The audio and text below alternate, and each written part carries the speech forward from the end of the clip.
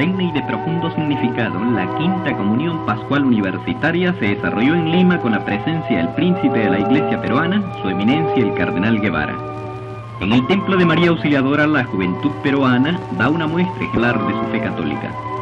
Nuestros jóvenes, esperanza del mañana, nuestros cadetes, futuros defensores de la patria, reciben del cardenal Guevara la hostia venerada, símbolo eterno y recuerdo imperecedero de la Santa Cena.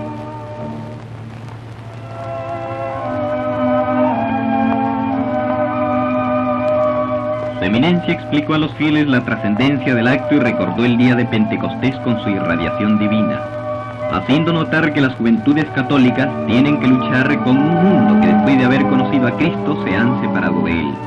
Esta lucha, afirmó el cardenal, ha de sostenerse con entereza y energía, más sin olvidar la caridad, supremo postulado de la doctrina de Cristo.